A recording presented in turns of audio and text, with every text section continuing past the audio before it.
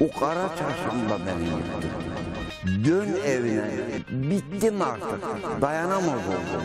Bugün büyük gün, bir mucize gerçek olacak. 14 yıllık hasret, bitmek bilmeyen özlem Esra Erol'da son bulacak. Canım oğlum. Yeter artık ya. Bittim ben ya.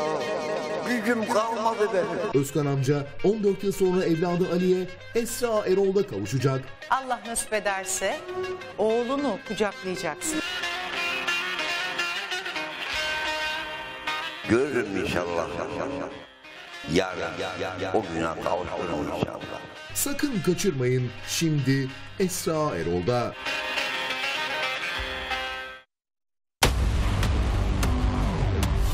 Orada yıllardan beri çalışan garsız arkadaşların içinde kimyasal madde içkilerine. Müşteriler kendisini kaybediyor zaten.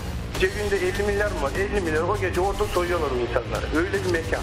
Celale Egemen'in mekanına giden 3 kişiyi bir saat içinde nasıl soyup soğana çevirdiler? Yedikleri içtiklerine ve ödedikleri hesaba inanamayacaksınız. Böyle bir hesap görülmedi. Şoke olacaksınız. Şimdi Esra Erol'da.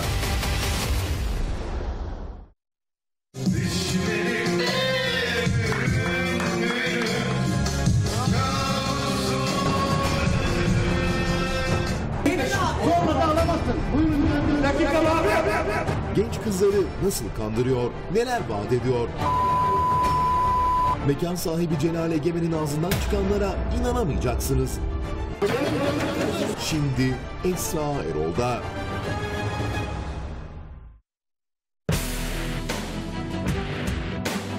Alışılmışın dışında bu sefer de gözü yaşlı bir baba. İki yıldır Ercenk Bozdemir isimli oğlumu görememekteyim. Çocuğumun velayeti bende. Annesi tarafından kaçırılmıştır. Bir buçuk senedir evladına hasret olan Ferdi Bey, velayet bende, çocuğum iyi koşullarda değil diyerek isyan etti. Çocuğumu getirmesini istiyorum. Bir babanın feryadı şimdi Esra Erol'da.